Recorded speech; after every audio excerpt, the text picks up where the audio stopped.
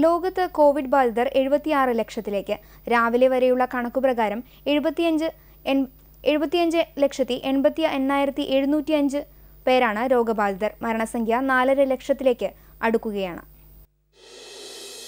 വിവിധ രാജ്യങ്ങളിലായി കോവിഡ് ബാധയിൽ നാല് ലക്ഷത്തി ഇരുപത്തി മൂവായിരത്തി അറുന്നൂറ്റി എഴുപത്തിമൂന്ന് പേർക്ക് ജീവൻ നഷ്ടമായി. മുപ്പത്തിയെട്ട് ലക്ഷത്തി മുപ്പത്തൊമ്പതിനായിരത്തി മുന്നൂറ്റി ഇരുപത്തൊന്ന് പേർ രോഗമുക്തി നേടി. യു എസ് തന്നെയാണ് രോഗികളുടെ എണ്ണത്തിലും മരണത്തിലും മുന്നിൽ. ഇന്ത്യ കോവിഡ് ബാധിതരുടെ എണ്ണത്തിൽ ലോകത്ത് നാലാം സ്ഥാനത്തേക്ക് കയറിയിരുന്നു. വേൾഡോമീറ്റേഴ്സിന്റെ കണക്ക് പ്രകാരം അമേരിക്ക ബ്രസീൽ റഷ്യ എന്നീ രാജ്യങ്ങൾ മാത്രമാണ് ഇന്ത്യയ്ക്ക് മുന്നിൽ. യു എസിൽ രോഗബാധിതർ രണ്ട് ലക്ഷത്തി എൺപത്തി ഒമ്പതിനായിരത്തി എഴുന്നൂറ്റി ഒന്നാണ്. മരിച്ചവർ ഒരു ലക്ഷത്തി പതിനാറായിരത്തി മുപ്പത്തിനാലും. ബ്രസീലിൽ എട്ട് ലക്ഷത്തി അയ്യായിരത്തി അറുന്നൂറ്റി നാൽപ്പത്തി ഒമ്പത് പേരാണ് രോഗബാധിതർ. നാൽപ്പത്തൊന്നായിരത്തി അമ്പത്തി എട്ട് പേർ മരണമടഞ്ഞു. റഷ്യയിൽ കോവിഡ് രോഗബാധിതർ അഞ്ച് ലക്ഷത്തി രണ്ടായിരത്തി നാനൂറ്റി മുപ്പത്തി ആറായി. ആറായിരത്തി അഞ്ഞൂറ്റി മുപ്പത്തിരണ്ട് പേർ മരണത്തിന് കീഴടങ്ങി.